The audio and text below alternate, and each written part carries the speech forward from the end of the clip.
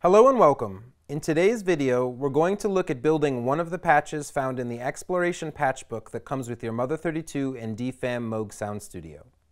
For this example, we're going to be looking at the Acid is the Way patch, and I've already taken the step of matching the knobs on both instruments to the diagram. So now let's look at adding the patch cables and playing the patch to hear how it sounds.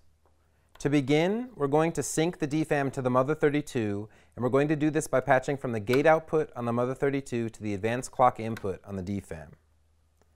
Next, I'm going to patch the assignable output on the Mother32 to the mult input, and I'm going to patch the first copy of that mult to the VC mix control input, and the second copy to the LFO rate input.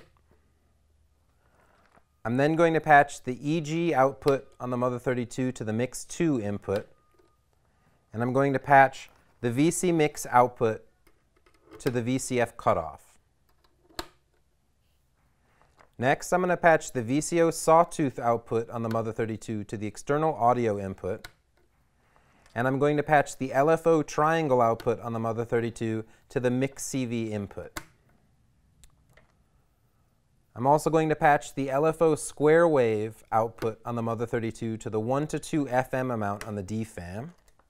And I'm going to patch the pitch output on the DFAM to the noise level. And lastly, we're going to patch the VCF EG on the DFAM to the VCF resonance input on the Mother32. So now that we have this set up, we're going to make sure that the DFAM is set to step 8, and we're going to hit run stop on the DFAM to arm it to play. Now when I hit play on the Mother32, both units will start. So let's look at approaches to performing this patch.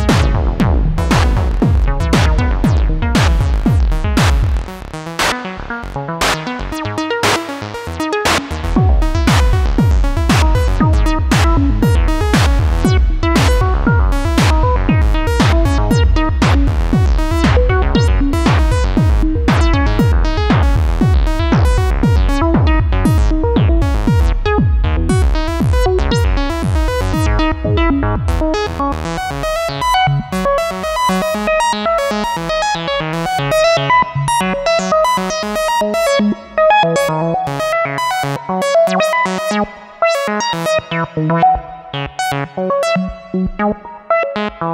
you.